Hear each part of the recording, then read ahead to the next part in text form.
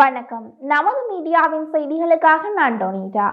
இந்திய சீன எல்லைக்கு அருகே இந்திய ராணுவம் அமெரிக்க ராணுவத்துடன் கூட்டு ராணுவ பயிற்சிகளை செய்வதற்கு கடும் கண்டனம் தெரிவித்துள்ளது சீனா. இந்தியாவுக்கும் சீனாவுக்கும் இடையிலான இரண்டு எல்லை பகுதி ஒப்பந்தங்களை மீறும் செயல் இது என்று சீன தரப்பில் கூறப்பட்டுள்ளது.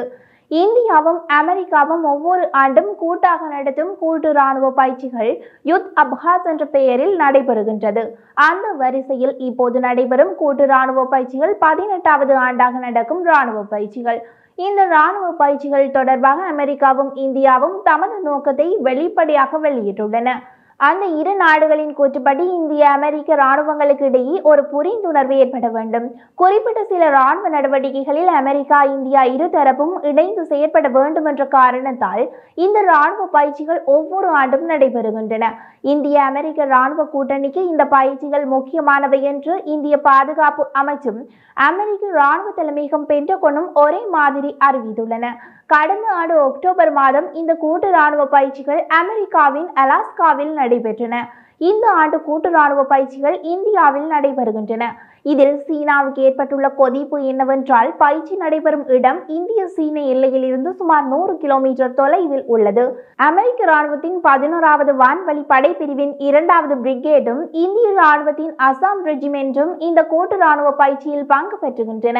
ஏற்கனவே தொடங்கி நடந்து கொண்டிருக்கும் இந்த கூட்டு ராணுவ பயிற்சிகள் பற்றி சீனாவின் நிலைப்பாடு என்ன என்ற ஒரு கேள்வி சீன வெளியுறவு அமைச்சரிடத்தும் செய்தியாளர் மாநாட்டில் கேட்கப்பட்டது. கேள்விகளை எழுப்பியவர் பாகிஸ்தான் நாட்டு செய்தியாளர் ஒருவர்.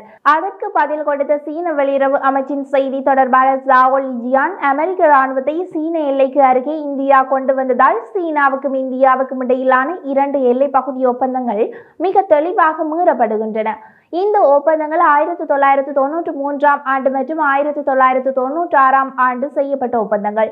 சீனா அந்த ஒப்பந்தங்களை கடைபிடிக்கின்றது. அதே நேரத்தில் இந்தியா அந்த ஒப்பந்தங்களை மீறுகின்றது என்று தெரிவித்தார்.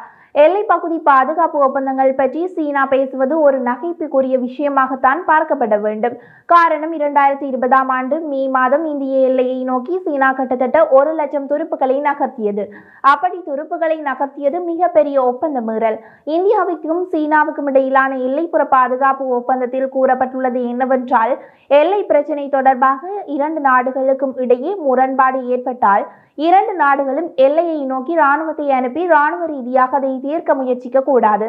மாறாக ராஜதந்திர முறையில் அந்த முரண்பாடுகள் தீர்க்கப்பட வேண்டும் என்று அந்த எல்லை பகுதி பாதுகாப்பு ஒப்பந்தத்தில் கூறப்பட்டுள்ளது. இரண்டாயிரத்தி இருபதாம் ஆண்டு எந்த விதமான ராஜதந்திர பேச்சுவார்த்தைகளும் இல்லாமல் சீனா தன்னிச்சையான முறையில் ஆயிரக்கணக்கான துருப்புகளை இந்திய எல்லைக்கு அனுப்பியதன் மூலம் ஒப்பந்தத்தை மீறிய முதலாவது நாடாக சீனா இருக்கின்றது. தற்போது கண்டனம் தெரிவித்துள்ள சீனா சீன எல்லைக்கு அருகே அமெரிக்க துருப்புக்களை இந்தியா கொண்டு வந்துள்ளது என குற்றம் சுமத்துகின்றது.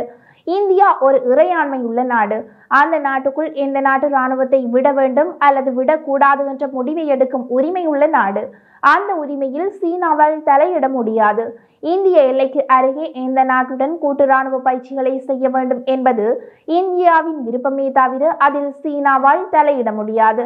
இந்திய அமெரிக்க கூட்டு ராணுவ பயிற்சியால் சீனாவின் தேசிய பாதுகாப்புக்கு அச்சுறுத்தல் ஏற்படுகின்றது என்றால் அவர்கள் தமது கட்டுப்பாட்டு பகுதிக்குள் தமது ராணுவத்தை நிறுத்த முடியும். ஆனால் அதை புதிதாக செய்ய முடியாது. காரணம் ஏற்கனவே இந்திய எல்லைக்கு அருகே அவர்கள் தமது ராணுவத்தை நகர்த்தி விட்டார்கள்.